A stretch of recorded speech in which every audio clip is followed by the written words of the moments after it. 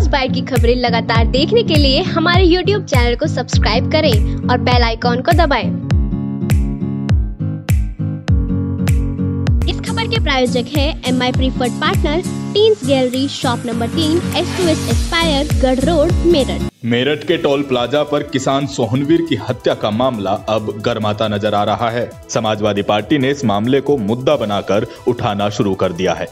कल सभा के राष्ट्रीय अध्यक्ष अखिलेश यादव ने सोहनवीर के परिजनों से मुलाकात की, जिसके बाद आज सोहनवीर के परिजनों को सपाइयों ने आईजी मेरठ से भी मिलवाया। परिजनों ने हत्याकांड में लिप्त सभी लोगों की गिरफ्तारी की मांग की है। वहीं आईजी मेरठ ने इस मामले में निष्पक्ष जाँच कराने का आश्वासन दिया है। सोहनवीर की हत्या को 10 दिन बीत चुके हैं, जिसके बाद ग्रामीणों में भी खासा आक्रोश है। इसी आक्रोश को देखते हुए कल गाँव में पंचायत का भी ऐलान कर दिया गया था। आपको बता दें कि मेरठ के थाना दोराला क्षेत्र के टोल प्लाजा पर गन्ने की ट्रोली ले जाते समय टोल चुकाने को लेकर विवाद हुआ, जिसके बाद सोहनवीर की पीट पीट कर हत्या कर दी गई। पोस्टमार्टम रिपोर्ट में हत्या की पुष्टि हुई। परिजनों का आरोप है कि स्थानीय थाना दोराला पुलिस ने दो नवनियुक्त टोल कर्मियों को आरोपी बताते हुए जेल भेज दिया है, जबकि असल आरोपी अभी भी खुले में घूम रहे हैं। इस मामले में परिजनों की तरफ़ से टोल कंपनी के मालिक समेत कई लोगों के खिलाफ नामजद एफआईआर दर्ज की गई है। टोल पर लगे सीसीटीवी कैमरे से वही 10 मिनट की रिकॉर्डिंग भी डिलीट कर दी गई है जो हत्याकांड के लिए अहम सबूत बन सकता था। फ़िलहाल पुलिस पर इस मामले में लापरवाही करने के गंभीर आरोप लगे हैं।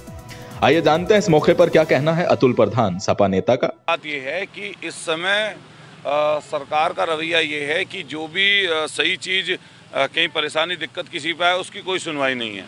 अगर फर्जी मुकदमे लगाने की बात आती है तो रोज़ फर्जी मुकदमे लग जाते हैं। जो ये वाक्य है, दुलैड़ा एक सरना विधानसभा क्षेत्र में मेरठ ज़िले का गाँव है, बहुत बड़ा गाँव शहर से लगा हुआ गाँव है। टोल टैक्स पर जहाँ हमेशा रोज़ाना आपको गुंडे देखने के लिए मिल जाती होगी, कभी किसी नेता के कुछ भी कुछ भी कारण बता देते हैं। यहाँ टोल वालों ने इस, जो सोनवीर सिंह थे, इनको पीट पीट के मार दिया। और पीट पीट के मारने के बाद में आज दस दिन हो गए कोई अभी तक इनकी कार्रवाई शून्य है, कोई जाँच के नाम पर कुछ चीज़ नहीं हुई, बल्कि हमें पूरी संशय ये है कि पुलिस के जो वहाँ के इंस्पेक्टर अधिकारी, नीचे वाले लोग जो अधिकारी हैं, वो लगभग लगभग सब टोल से सेटिंग करके बैठे हुए हैं। इन्होंने पहले दिन भी वही बात कही, इन्होंने जब पंचायत हुई तब भी यही बात कही, पंचायत से अगले दिन अधिकारी पहुँचे, उन्होंने भी वही बात कही, और लगातार वही बात ये लोग बोल रहे हैं, न्याय इनको नहीं मिल पा रहा है। कल मान्य अखिलेश यादव जी से भी इनका परिवार मिला था उन्होंने भी वरिष्ठ अधिकारियों से बात की है सदन में उठाएँगे लोकसभा में भी उठाएँगे इस चीज़ को और यहाँ समाजवादी पार्टी और विपक्ष के तमाम लोग अच्छा और भी अलग अलग लोग हैं।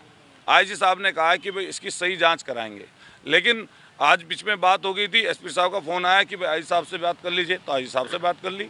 आई साहब को बता दिया लेकिन कल बड़ी संख्या में लोग दुलैड़ा चौहान उस गाँव में इकट्ठा हो रहे हैं और क्योंकि दस दिन बीत गए हैं और दस दिन बीतने की वजह से काफ़ी दिन का समय दे दिया उनको।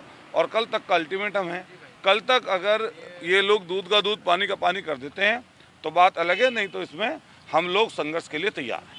आइए साथ ही अब ये भी जान लेते हैं कि इस मौके पर जिला अध्यक्ष समाजवादी पार्टी राजपाल सिंह का क्या कहना है। वाले मामले को टोल वाले को और अगवानपुर वाले को। दोनों मामलों में उन्होंने आश्वासित किया है। इस मामले में उन्होंने कहा कि जो सीसीटीवी कैमरे से 10 मिनट की वो गायब है वो हम बाहर से भेज के निकलवा लेंगे। लखनऊ या जहाँ भी वो निकलवाना उचित समझेंगे उससे करा देंगे और और निष्पक्ष जाँच की जाएगी किसी एडिशनल एसपी से। वो एस पी आर ए को कह रहे थे हमने कह दे दो जिसे आप उचित समझें ठीक जाँच कराओ जिससे दूध का दूध और पानी का पानी हो जाए। और वो निष्पक्ष जाँच करा के जो सही चीज़ है उस पर होगा।